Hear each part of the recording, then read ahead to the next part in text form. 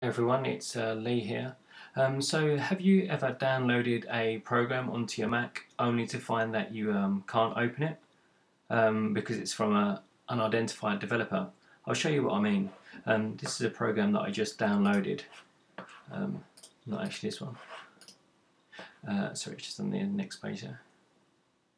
Um, this duck capture is the program I just downloaded. Uh, when I click on it, I get this message, duck capture can't be opened because it is from an unidentified developer.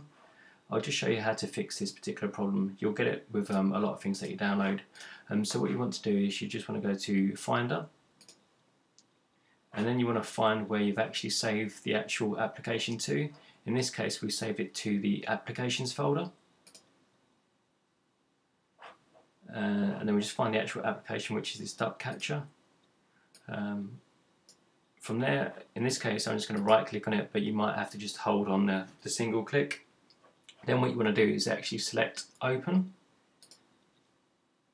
Um, you'll get a message and it will just say, are you sure you want to open it? If it's from a, a trusted um, source or someone that you believe to be um, uh, you know, a good source, then just go ahead and open it. Um, so it's just like an extra security precaution. Um, and once you do that, um, the program will open normally from that point onwards.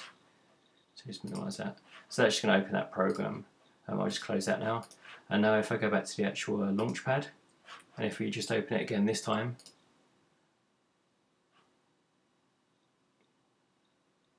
oh, it's actually, it's already up there. So it did actually, uh, it did actually open. Um, yeah, so that time, so you can just see that it opens again um, without that error message. Um, so that's all you need to do. If you do, do see that um, uh, error message, then just uh, find the actual program in Finder, um, select it and then manually open it and um, just uh, confirm it. So that's how you do it, okay? Thanks for watching. Bye.